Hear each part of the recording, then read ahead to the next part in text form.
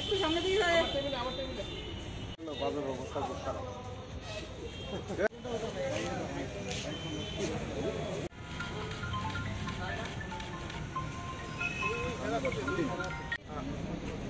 को अरेस्ट किया है। ये अगरतला टाउन में बहुत सारे दिन से हम लोग खबर लगाया था। इंटेलिजेंस सोर्सेज के मुताबिक हमने काम किया है कि बहुत दिनों से ये चोर जो है, ये गैंग के तरह ऑपरेट कर रहे थे।